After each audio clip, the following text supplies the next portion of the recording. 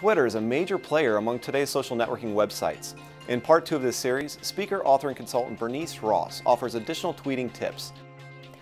Another tool that I really like, and this is great for people who are in the real estate industry, is called nearbytweets.com.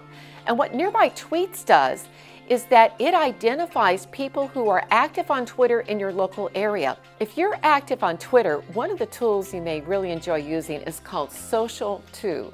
And what this particular tool does is it shows you who has just followed you recently as well as who has unfollowed you and it posts the tweets that you may have made that cause people to unfollow. So what SocialToo does is it shows you how to grow your followers by giving you feedback about what attracts followers as well as what causes them to unfollow you.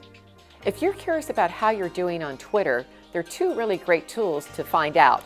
The first one is called Twitter Grader, and the second one is called Twitterholic. Either one of them will show you how you compare to other Twitter users. And if you're interested, you can also find out who the top Twitter users are in your local area. One of my favorite applications for Twitter is Monitter. And on Monitter, you have three columns, and you can type in a phrase such as real estate foreclosures or real estate short sales, and you'll see that the column is empty when you first start. But as soon as you hit enter, what you'll see is every tweet that is being made on Twitter about that topic in real time.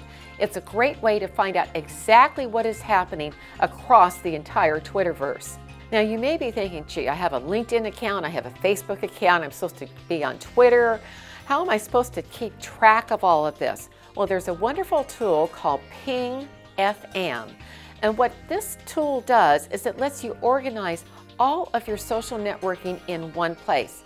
So you can post your messages to Twitter, LinkedIn, whatever system that you're on from this simple tool that organizes it and makes your life simple.